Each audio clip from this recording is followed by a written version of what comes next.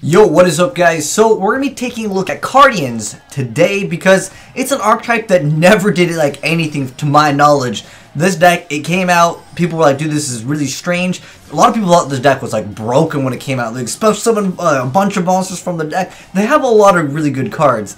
But the deck, it didn't really do anything. However, when you incorporate some of the uh, cards with some of the link cards, which we will get into, it's not so bad. Uh, and it has a little bit of potential because I feel like if they get a link monster, the deck can be definitely pretty good. Uh, especially with the card that just lets you spell summon like four monsters from the deck. That's a pretty good effect.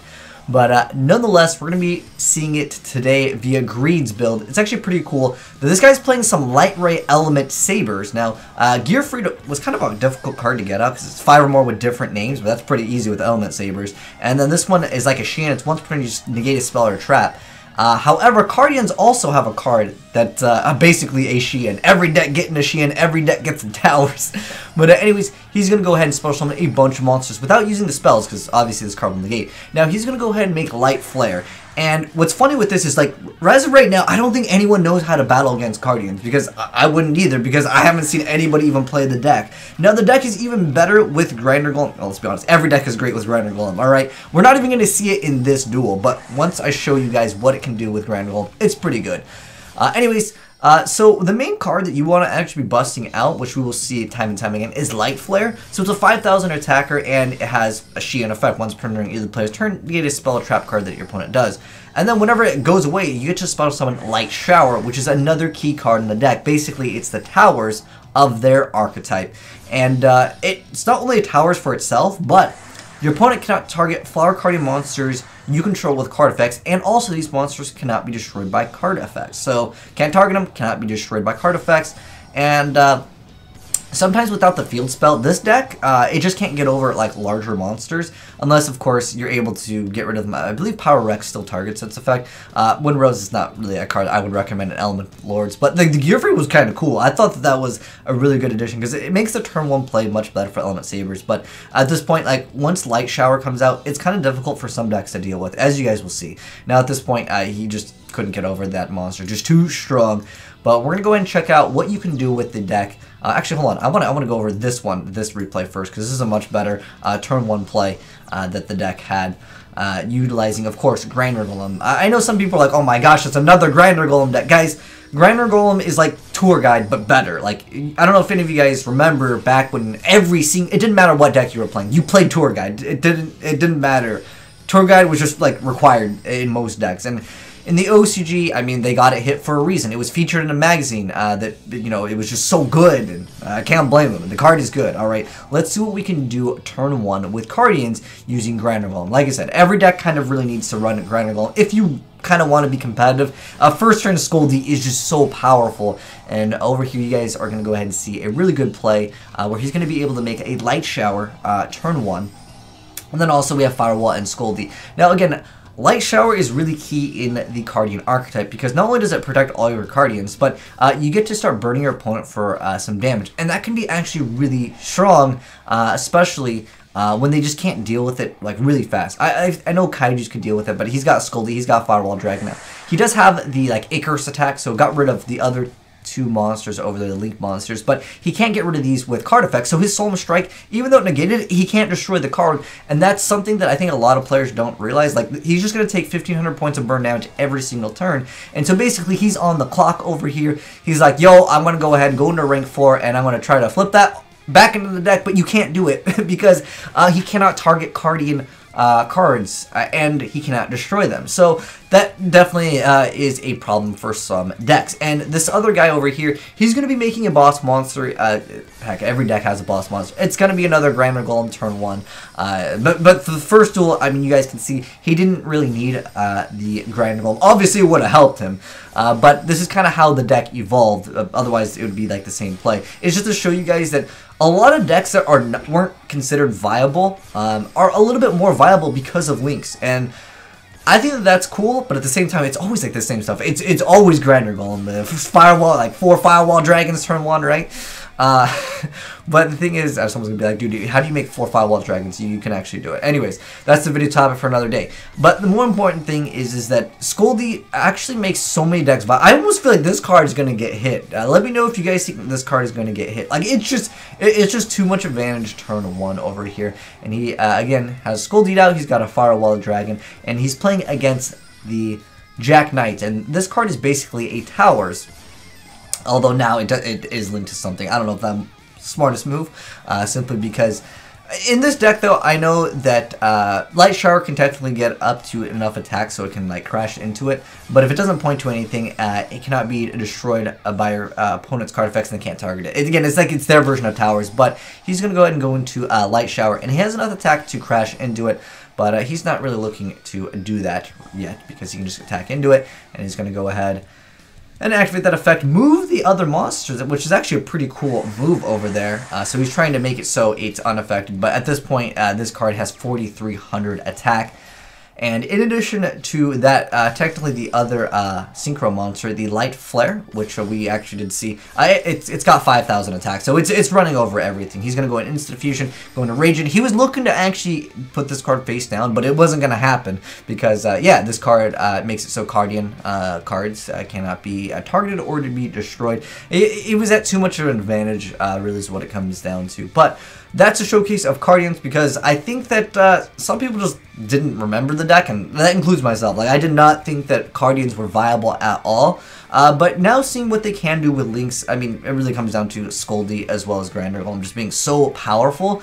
Uh, making a board plus Light Shower is, like, more possible now because Light sh uh, Light Shower was, like, basically your, your entire investment was, like, turn one, you could make Light Shower or Light Flare, but you'd go super minus doing that. And the deck, I would say, doesn't really have a good comeback mechanic in terms of like top decking after you've lost something via kaiju effect or whatever the case may be. But again, it just helps out the deck quite a bit. And if you guys maybe have some of these, because honestly, all these cards are like really cheap, so you can build the Cardian like core really, really easy if you you know have a couple dollars lying around. Obviously, the extract can get kind of pricey with some of the cards, but for the most part, uh, if you don't have these cards, might not be looking at a very competitive Link deck anyways, but let's go ahead and get started with the deck profile. Briefly explain some of the stuff. Uh, I did play Cardians a while back. I tried to make the deck viable. It was really difficult. I just kind of felt like I, I just kind of bricked, honestly, a lot.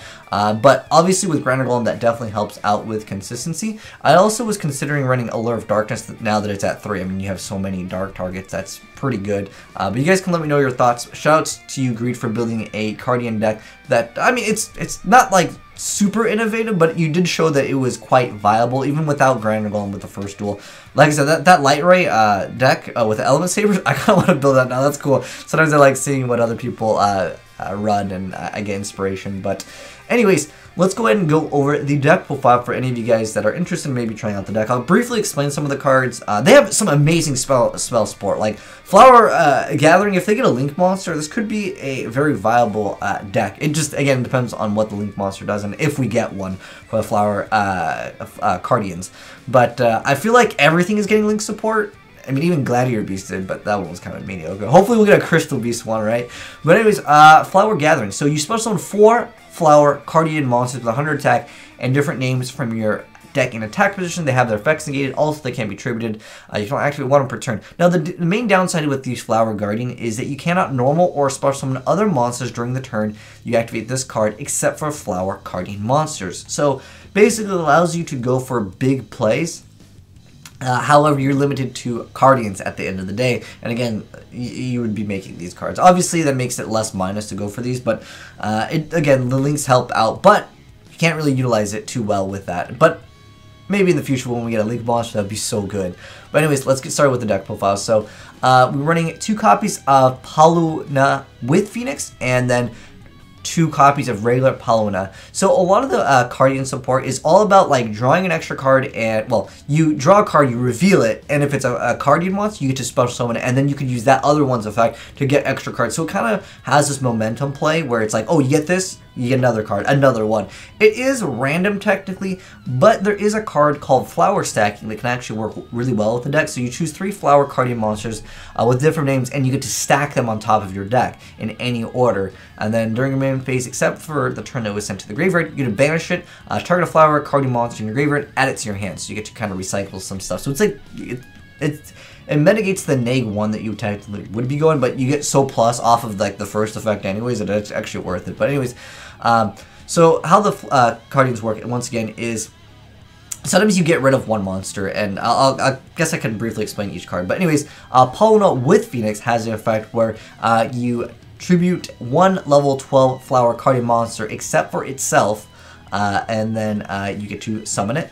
And if this card is special summoned, you get to draw one card. If you do, show it and then you can special summon it if it's a flower card, and otherwise you send it to the graveyard. And whenever this card inflicts battle damage, which you guys did see uh, them do, you can draw a card. And then next up we have the Flower Cardian Palna. This is without the Phoenix. I know the card looks very similar, but that's just how it, it is. Anyways, uh, while you control a level 11 or lower Flower Cardian monster, which is actually everything in the deck uh, minus the Flower Cardian with uh, with Phoenix, because everything else is going to be lower level than uh, 11. So basically, if you control another one, you get to special summon it. And then um, this one has a restriction that uh, you also cannot normal or special summon monsters for the rest of the turn except for Flower Cardian monsters. And then when this card is targeted for an attack, you can negate the attack in the battle phase and draw a card. So this is like their battle figure, if you will. Uh, and then next up, we have two copies of Flower Cardian Willow. Uh, so this one has the effect where uh, you tribute one level 11 Flower Cardian monster except for itself, and then uh, if this card is special summoned, you get to draw one card and reveal it, and if it's a flower card, you get to uh, special summon, otherwise you send it to the graveyard. And then this one has a bonus effect where uh, if this card is used as synchro material, you can treat it and all other synchro materials that have a level as uh, 2. So it just helps you make out some of the uh, other cards much easier because you're going to have a bunch of cards. And obviously synchroing with like 12s is a little bit difficult. Um, I was even thinking that it would be cool to see a level eater build of this deck because these cards have such high level that you could potentially run level eater in this deck. And this is where I wanted you guys to be really innovative and make like a deck that was Cardians. I know that there are some restrictions, like again, where you can't summon anything except for Flower Cardians, but I feel like some people could be pretty innovative, and you could probably abuse Level Eater in this deck more than anything because the monsters are like very high levels. But well, there is one that's technically level one, but most of them you're going to be able to Level Eater off of like four or five times a piece, and that can be really deadly. But uh, anyways, next up, uh, so we have Willow with Calligrapher. And then we have uh, three copies of regular Willow, which is actually a really strong card. But anyways, this one over here, uh, when you control level 10 or lower, you get to go ahead and uh, special summon it. It has a restriction, you can only go for uh, Flower Cardians. Uh, and then, once per turn, you get to target one Flower Cardian monster in your graveyard, you put it back into the deck, and then you get to draw a card. So it resets your engine and gives you draw power. Next up, we have two copies of Maple with Deer. Um, I'm not sure if I'm too much of a fan of this card anymore, because most back row gets rid of the monsters, but uh, you tribute one Flower Cardian monster except for itself, and then um, when it is special summon, you get to draw a card and then show it to your opponent. If it's a Flower Cardian, you get to get rid of a back row. Um, eh, it's okay to just go through cards, but uh, getting rid of back row, again, I feel like most people would just get rid of the card before it would be able to activate its effect.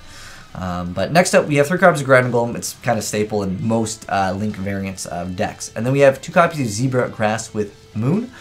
Um, so this one over here lets you uh, special summon it by tributing a level 8 Flower Cardian monster except for itself, and if this card special summon, draw a card, show it, and then special summon its Cardian. And then the bonus effect that it has is once per turn, uh, if this card destroys an opponent's monster by battle, you can draw a card. Has 2000 attack, it's okay. Next up we have uh, two copies of Zebra Grass. So, uh, if, when you control level 7 or lower Flower Cardian monster, you can just special summon it, and then you can't special summon, uh, it has that restriction of, you can basically only go for Cardians, and this card is no or special summon, you get to reveal any number of Flower Cardian monsters in your hand, you shuffle them back, and then you draw the same number of cards. So this is like your consistency in the deck. We have two copies of Clover with Boar. So, uh, this one tribute summon a Flower Cardian monster except for itself, and then draw a card if you uh, show a, uh, a flower cardian monster. You can destroy one monster your opponent controls, otherwise you send it to the graveyard. So this is like, uh, this one, the, the deer gets rid of the spell and trap, and then the boar gets rid of monsters. I like this one much more. I, am just not too much a fan of maple deer, but next up, uh, next we have the peony with a butterfly. So this one tribute a flower cardian monster except for itself this card is special summon, you get to draw a card, show it to your opponent, and then you get to look at the top three cards of your opponent's deck and then place them in any order. and then uh, otherwise you just send it to the graveyard. And then when this card is used as a uh, synchro material, you treat it and all other monsters uh, that have a level as two, so it can kind of help out with that play uh, for going for things. Anyways, uh, next up we have uh, two copies of the Cherry Blossom with Curtain. So uh, this one has to be special summoned by its own effect, which is uh, you reveal this card in your hand, draw a card. If you do, show it, then special summon this card if the drawn card is a flower uh, Cardian monster. So basically, we got to reveal a flower Cardian. And then uh, during either player's turn, uh, either player's damage step, uh, if whenever you're at Flower card, Cardian monster battles and opponents, you can discard this card and it gains a thousand attack. That was actually relevant uh, versus the Jack Knight card. Uh, it just helped him get over without having to crash the uh, Light Shower. But yeah, uh, that's just like it's like bonus effect. And then we have Pine Crane. So this one lets you uh, special summon it by tributing a Flower Cardian monster, and this card is special summon. You get to draw a card. If you do show it, then you could special summon if it was a flower card. And so again, it's like the standard one effect. And then uh, at the end of the battle phase, if this card battled, you get to draw a card. And then lastly, for the archetype, uh, we have Cardian Pine. So Cardian Pine's effect uh, if, if, this card is normal summon, you get to draw a card and you show it, then send it to the graveyard unless it's a flower Cardian monster. Then you can only use this effect of it once per turn. If this card uh, is destroyed by battle and sent to the graveyard, or if its owner's possession is uh, destroyed by an opponent's card effect, sent to the graveyard, to draw a card. Um, then we have Flower Stacking, which I already went over. Now, Super Koi Koi is almost like Enchanted Fitting Room. You execute the top three cards of your deck. You special summon as many Flower Cardi monsters um, as possible, ignoring their summoning conditions. Obviously, that works quite well with Flower Stacking. Uh, and then um, their uh, levels become two, and their effects are negated, and you banish the remaining cards face down. If you do, you lose a thousand life points for each. Um, then you can banish the card from your graveyard and tribute one flower, uh, well, I'm sorry, one monster, dispose of one flower Cardian monster from your hand, ignoring summoning conditions. You can only activate one of them per turn. Uh, next up, we have the Reincarnation. So you target a flower, a Cardian monster, your graveyard, add it to your hand. Then you can add uh, then you can special one flower Cardian Mons from your hand, ignoring summoning conditions. And if this card is sent to the graveyard by a flower Cardian monster effect, you can excavate the top five cards of your deck. If you do, you get to add one excavated spell and trap card to your hand. And almost reminds you of a McCurry Bandit, if you guys rem uh, mind, uh, remember that guy. And then uh, lastly, we have Flower Cardi, uh, Flower Gathering, which is the special summon of four monsters. This is really where I feel like the deck has potential. Again, if the deck gets any link summons in the future, or link cards in the future. I feel like, again, this was an archetype that a lot of people were really excited about. When we first got it announced, a lot of people were like, dude, this, this deck is broken. It's because we first saw, I think, this card uh, when it was, like, leaked, and then, like, we saw some of the, a lot of the other cards, like, had, they all were all about, like, draw power, and people were freaking out. The deck just wasn't really viable, but it might have some potential in the future. Again, it depends what we get. But uh, anyways, next up we have Light Flare. I already went over the effect, but it's that 5,000 one where whenever it goes away, you just special summon uh, light shower. You can go for other things, but it's going to be light shower. And it's also uh, has that effect of negating a spore trap. And then we have uh, three cards of light shower, one copy of Boardefly over here. Uh, we didn't uh, see it in the duel, but anyways, uh, if a flower card monster you control attacks a defense position, you do piercing. And then once per turn, you get to banish one flower Cardian monster from your graveyard until the end of your opponent's next turn. Your opponent cannot activate effects of cards in the graveyard. Also, they cannot special monsters from the graveyard. Really good against a lot of different things, like zombies would definitely lose out a lot from this. Um, next up, we have Moonflower. So, uh, her effect is once per turn you could activate this effect. Skip the draw phase of your next turn. Also, draw one card. If you do, show it uh, then you can special if it's a Flower Cardian monster ignoring its summoning conditions. If you do, it can attack directly this turn. And then also, when this card is used as Synchro uh, uh material, you can treat it, it and all other Synchro uh, materials that have a level as level 2, because it also is a tuner. And then next up we have De uh, Firewall, Decode Talker, Akashic Magician, Security Dragon, Link Spider, and Linkuriboh. But anyways, let me know you guys' thoughts on Cardians. Um, like I said, I think it's just kind of a, a deck that it just didn't really take off and uh, no one's been talking about it, so I figure I'd give it some light.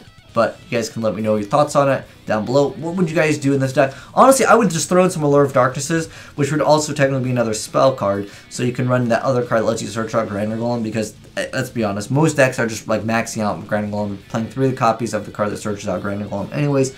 And with Allure of Darkness, you'd have more spells anyways to give to your opponent.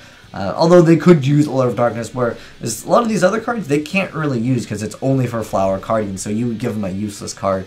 Uh, especially since you can only activate uh, one of the Flower Gathering uh, once per turn.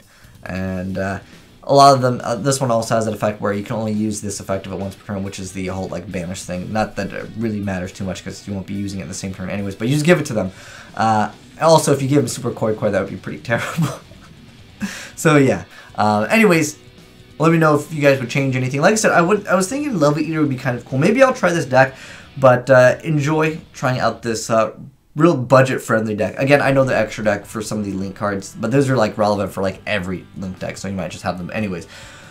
But thanks for watching, guys. Hope you enjoyed the video. If you did, drop a like on it. And if you're new to the channel, hit the subscribe button for more innovative Yu-Gi-Oh! decks. Uh, hopefully, again, links. We're to link Monster for Cardians soon. TM. Thanks for watching. I'm signing out.